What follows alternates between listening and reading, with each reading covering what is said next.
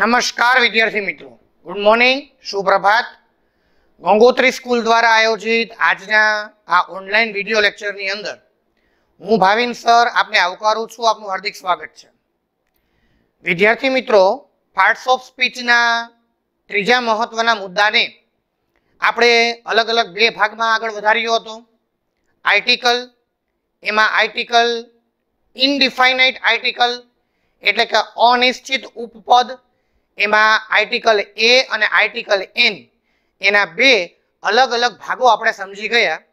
પ્રથમ ભાગમાં આપણે આર્ટિકલ એ સમજ્યા જે કોઈ પણ સ્પેલિંગના ઉચ્ચારનો પ્રથમ અક્ષર ગુજરાતી વ્યંજનથી નીકળતો હોય, તેની આગળ આર્ટિકલ એ વપરાશે. બીજા ભાગની અંદર આપણે આર્ટિકલ એન વિશે માહિતી મેળવી.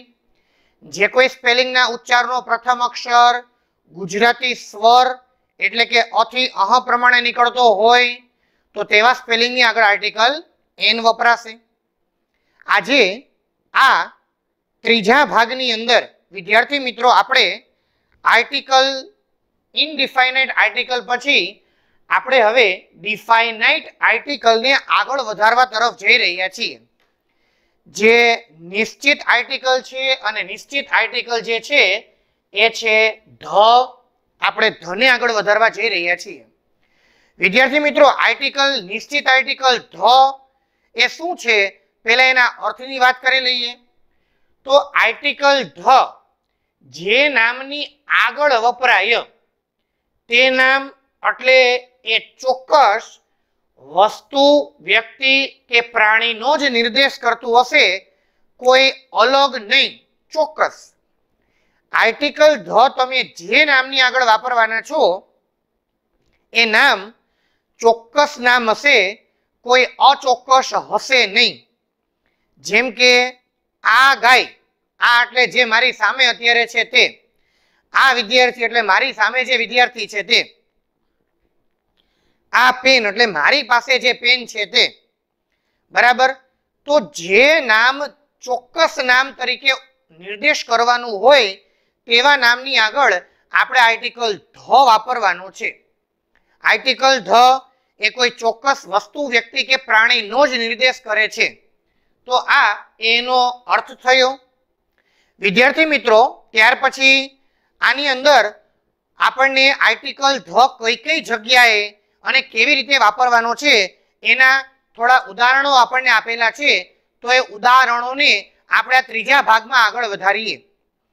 પ્રથમ ઉદાહરણ આપેલું છે, પ્રથમ એનો ઉપયોગ આપેલો છે કે કોઈ એક વસ્તુ કે નામનો પ્રથમ કોઈ એક નામ, વસ્તુ કે નામ. જ્યારે આપણે પ્રથમ વખત વાપરીએ કોઈ એક વસ્તુ લઈ લ્યો, કોઈ ચોક્કસ સ્પેલિંગ લઈ લ્યો, કોઈ નામ લઈ લ્યો, એનો પ્રથમ વખત જ્યારે તમે ઉલ્લેખ કરો, ત્યારે આપણે તેના ઉચ્ચાર મુજબ, શેના મુજબ, વિદ્યાર્થી મિત્રો, તો કે તેના ઉચ્ચાર મુજબ આર્ટિકલ એ અથવા એન વાપરવાનો થાય. પ્રથમ વખત તમે નામ લીધું, એટલે આર્ટિકલ આર્ટિકલ એ અથવા એન પણ જો એ જ નામ તમે બીજી વખત ઉલ્લેખ કરો તે જ નામનો તમે બીજી વખત ઉલ્લેખ કરો, બીજી વાર વાત કરો, ત્યારે તે ચોક્કસ નામ થઈ જશે. અને ચોક્કસ નામ થઈ જશે, આ નામ મારા માટે ચોક્કસ નામ થઈ જશે, એટલા માટે આપણે આગળ આર્ટિકલ ધ વાપરવાનો થશે. વિદ્યાર્થી મિત્રો, શું વાપરવાનું થશે? આગળ આર્ટિકલ ધ ઉદાહરણ તરીકે મારી પાસે આ એક પેન છે. હવે પ્રથમ વખત જ્યારે હું આ પેનની વાત કરીશ ને, ત્યારે હું એમ કહીશ કે ભાઈ this is a nice pen આ એક સુંદર પેન છે. પણ આ જ પેનની હું ચોખવટ કરીને બીજી વખત વાત કરીશ, તો એ મારા માટે ચોક્કસ પેન થઈ જશે. અને ચોક્કસ પેન થઈ એટલા માટે આગળ article the the pen is mine આ મારી પેન છે. ઉદાહરણ તરીકે જુઓ ધીસ ઇઝ એ બુક જોયું, વિદ્યાર્થી મિત્રો? પ્રથમ વખત તો એ આર્ટિકલ છે. એ આર્ટિકલ આપણે એના ઉચ્ચાર મુજબ, એટલે કે બુક તો બ મુજબ આગળ આર્ટિકલ એ વપરાય. તો એ મૂક્યો. ધીસ ઇઝ એ બુક પણ હવે એ જ બુકની વાત કરે છે, તો ચોક્કસ બુક થઈ. એટલા માટે આગળ article the the book is mine આ મારી બુક છે. ત્યાર પછી વિદ્યાર્થી મિત્રો ધેટ ઇઝ એન એપલ જો વિદ્યાર્થી મિત્રો એપલ છે, એટલે ઉચ્ચાર મુજબ આગળ આર્ટિકલ એન આવ્યો.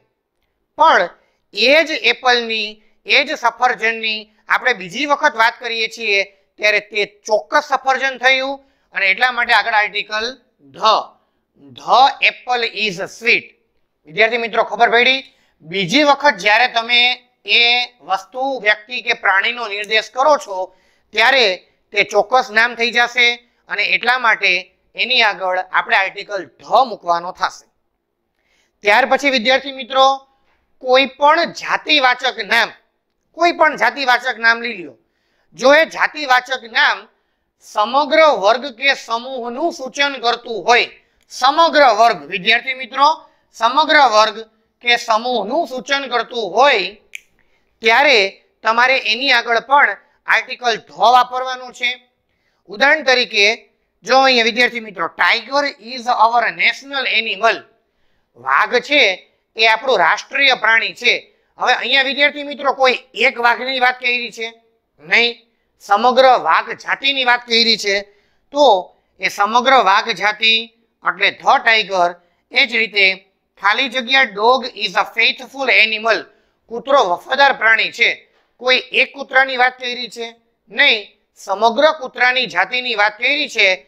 એટલા માટે આગળ આર્ટિકલ ધ જ્યારે કોઈ એક નામ સમગ્ર જાતિનો ઉલ્લેખ કરે, ત્યારે આગળ આર્ટિકલ ધ વપરાય, તો એ આગળ આર્ટિકલ આપણે ધ વાપર્યું. સમગ્ર જાતિનો ઉલ્લેખ કર્યો ત્યારે. ત્યાર પછી, વિદ્યાર્થી મિત્રો, નદીઓના નામની આગળ પણ જે મોટી મોટી નદીઓ છે, મહાનદીઓ, એના નામની આગળ પણ આપણે આર્ટિકલ ધ વાપરવાનો છે.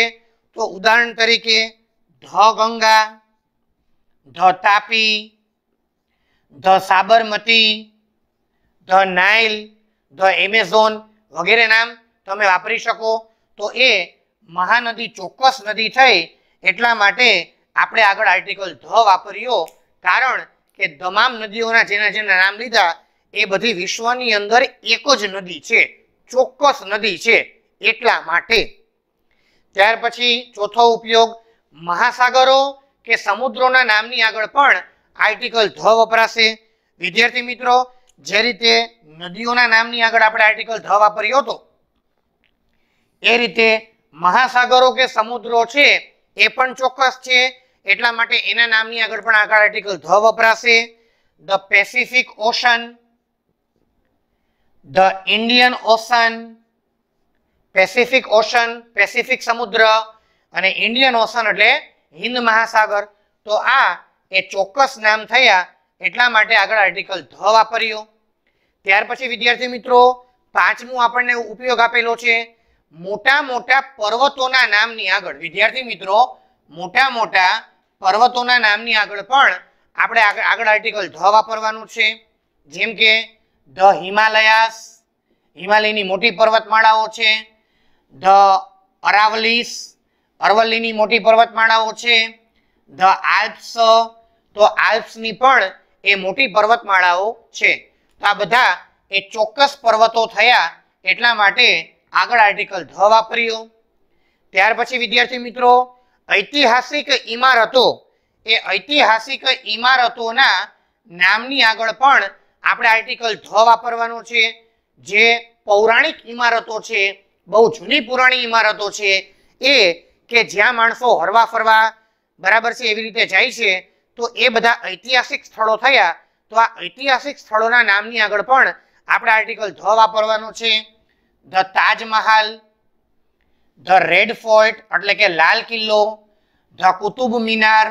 તો વિદ્યાર્થી મિત્રો, આ બધા જ એ મારા માટે એ ઐતિહાસિક સ્થળો થયા, ઐતિહાસિક ઇમારતો થઈ, તો એના નામની આગળ પણ આપણે આર્ટિકલ ધ વાપર્યો. ત્યાર પછી વિદ્યાર્થી મિત્રો, ધર્મગ્રંથો, મહાન અને પવિત્ર પુસ્તકો, એના નામની આગળ પણ આપણે ધ વાપરવાનું છે. તો મહાન ધર્મગ્રંથો, the Gita, the Mahabharata, the Ramayana, the Quran, the Bible વગેરે તો આ બધા જ એ મારા માટે પવિત્ર ધર્મગ્રંથો થયા, પવિત્ર એ પુસ્તકો થયા.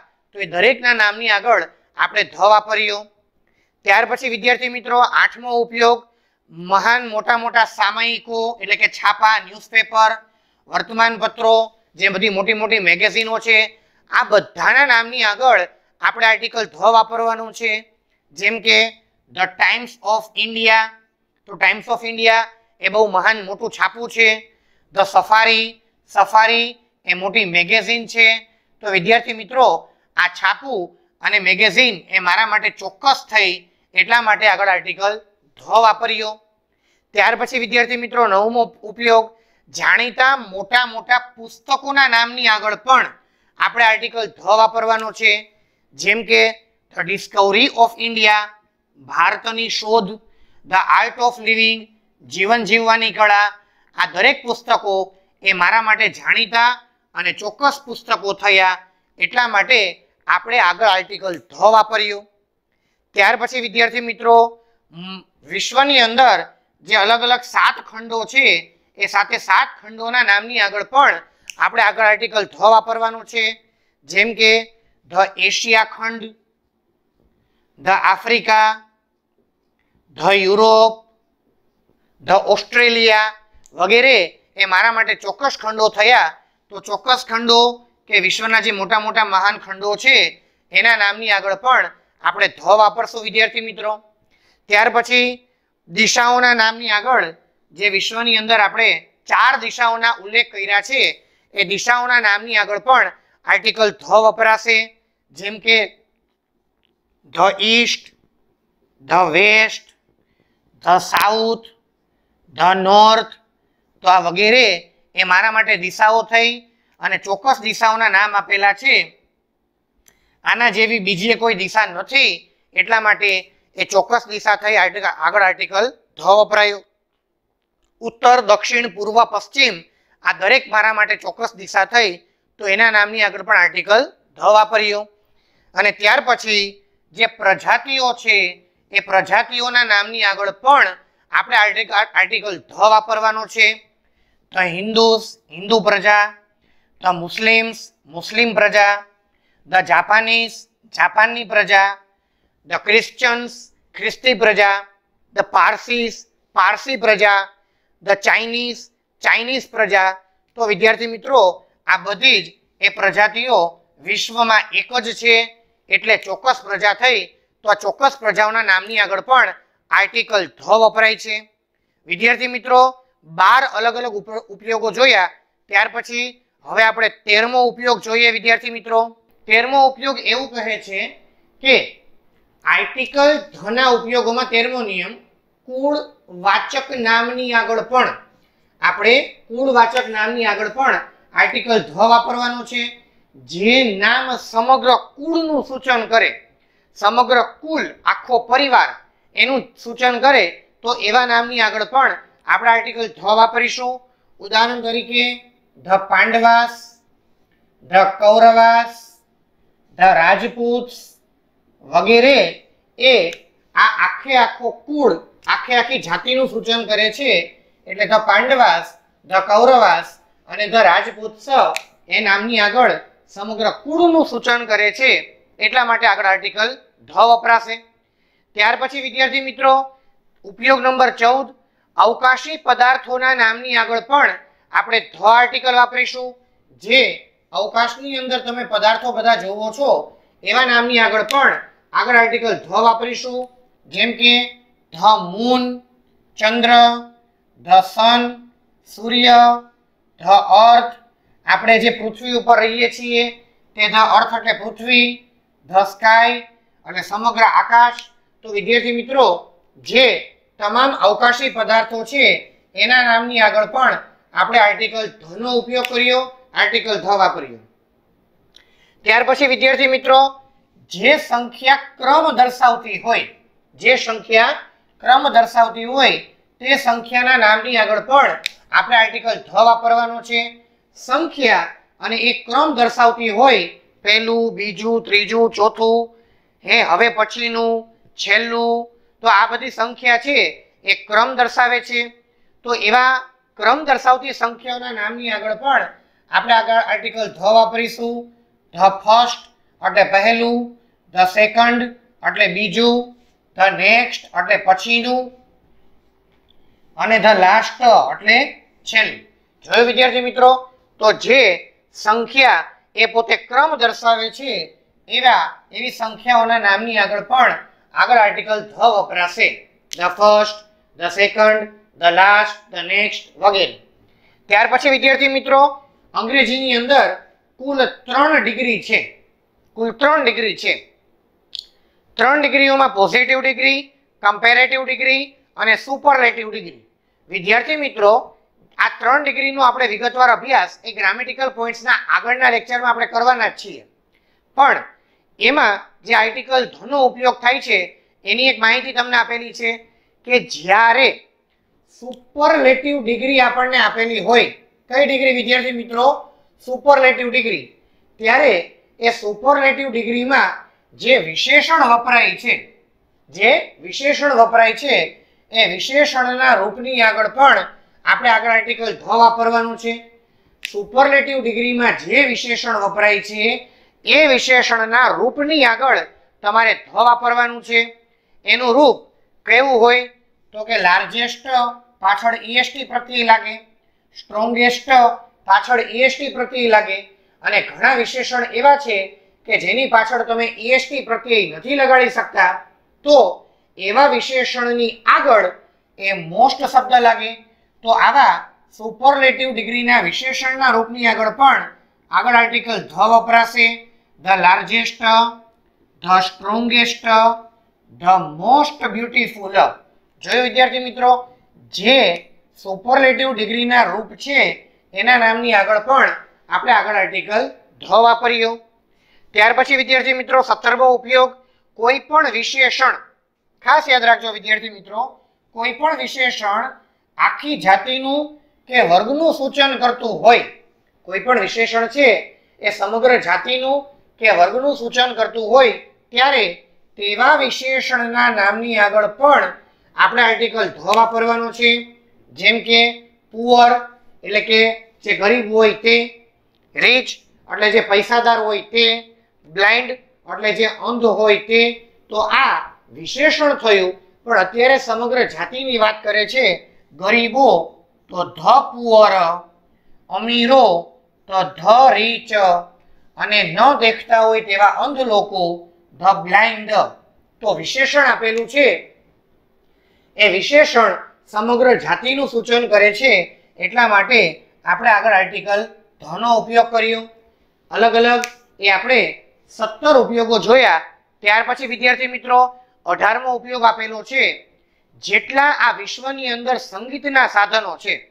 કયા? તો કે સંગીતના સાધનો. એ સંગીતના સાધનોના નામની આગળ પણ આપણે આર્ટિકલ ધ વાપરવાનો છે. જેમ કે ઉદાહરણ તરીકે, ગિટાર વાયોલિન, સિતાર, ફ્લૂટ, તો the guitar, the violin, the sitar, the flute. જોયું વિદ્યાર્થી મિત્રો, જે કોઈ નામ એ સંગીતના સાધનોનું સૂચન કરે છે, એવા દરેક નામની આગળ પણ આપણે આર્ટિકલ ધ વાપર્યો તમને ખાસ એક વસ્તુ યાદ એ રાખવાની છે, આર્ટિકલ ધ વિશે મેં તમને લોકોને એક એ પણ ચર્ચા કરી હતી કે ડિફાઇનાઇટ આર્ટિકલ નિશ્ચિત આર્ટિકલ ધ શું છે? તો કે આર્ટિકલ ધ, તમે જે કોઈ પણ નામની આગળ વાપરો છો આર્ટિકલ ધ, તમે જે કોઈ પણ નામની આગળ વાપરો છો, એ નામ એ ચોક્કસ નામ થઈ જાય છે, વિદ્યાર્થી મિત્રો. એ મારા માટે ચોક્કસ નામ થઈ જાય છે. એટલા માટે ખાસ અહીંયા જેટલા મેં ઉદાહરણ આપું છું, એ બધા જ ચોક્કસ નામના છે. કારણ કે ચોક્કસ છે એટલા માટે આગળ આર્ટિકલ ધનો ઉપયોગ થાય છે. ત્યાર પછી ઓગણીસમો ઉપયોગ વિદ્યાર્થી મિત્રો, મોટી મોટી ટ્રેનો, વિમાનો, આ બધાના નામની આગળ આપણે આર્ટિકલ ધ વાપરીશું. જેમ કે, મોટી ટ્રેન છે, ધ ગુજરાત મેલ, મોટું એક વિમાન છે, ધ વાયુદૂત.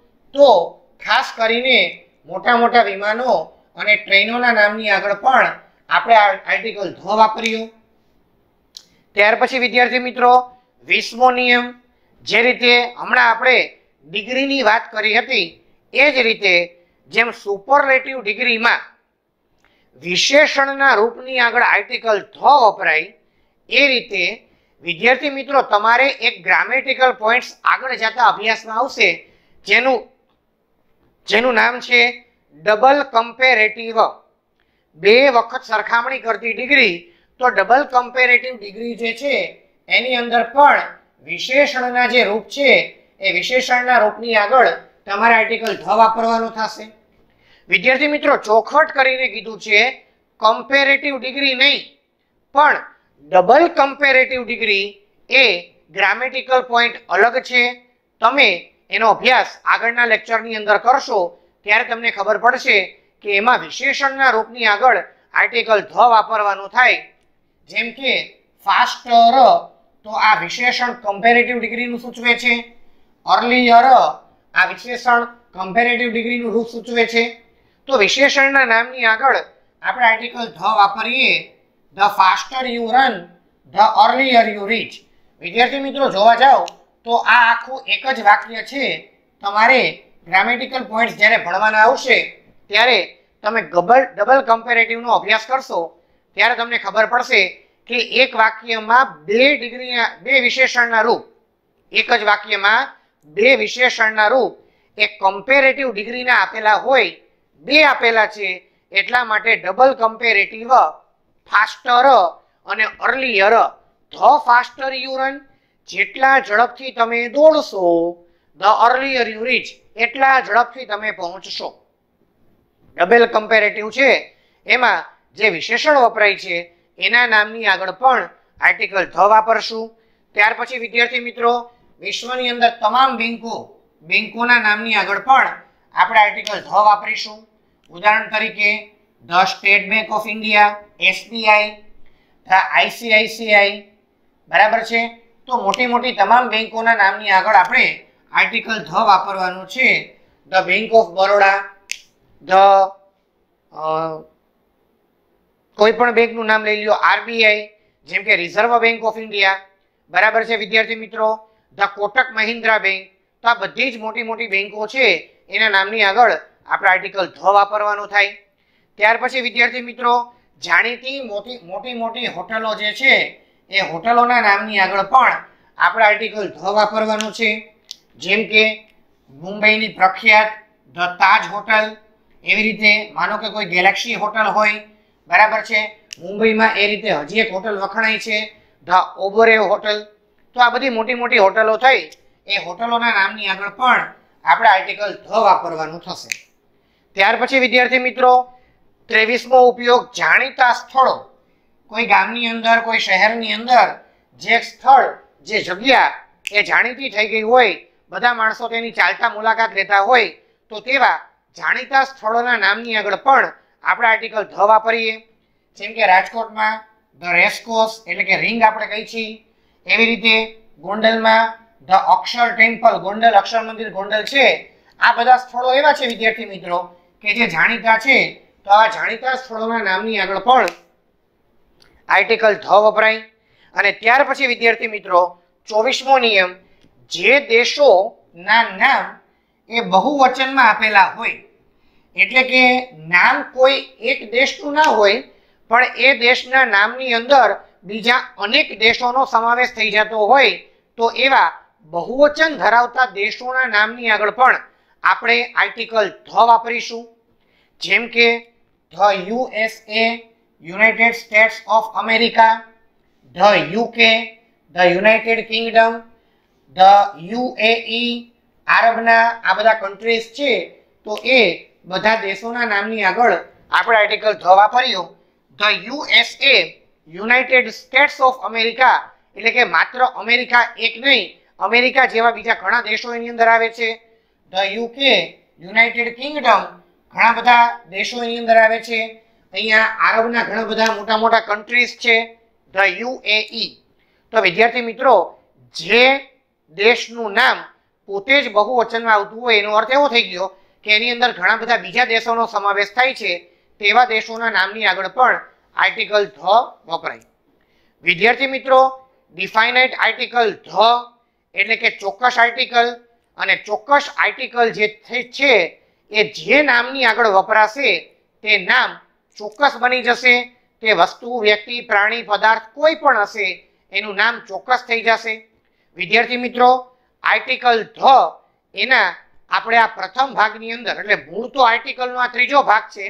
પ્રથમ ભાગમાં આપણે આર્ટિકલ એ ભણ્યા ત્યાર પછી આર્ટિકલ ઇન ભણ્યા બીજા ભાગની અંદર. આ ત્રીજા ભાગની અંદર આપણે આર્ટિકલ ધના એ અલગ અલગ ચોવીસ નિયમોનો અભ્યાસ કર્યો. અલગ અલગ એ ચોવીસ ઉપયોગો આપણે જોયા મારી આપને ખાસ નમ્ર વિનંતી છે વિદ્યાર્થી મિત્રો આર્ટિકલ ધના હજા બીજા, હજી બીજા ઉપયોગો પણ બાકી છે. તો એ હજી ચોથા પાર્ટની અંદર આપણે આર્ટિકલ ધના ઉપયોગ જોશું.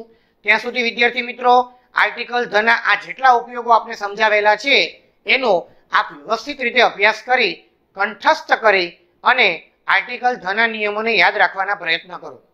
વિદ્યાર્થી મિત્રો, આર્ટિકલ ધના હવે પછીના ભાગની અંદર હું જલ્દીથી આપની સમક્ષ હાજર થઈશ. ત્યાં સુધી વિદ્યાર્થી મિત્રો, જય હિન્દ, જય ભારત, થેન્ક યુ.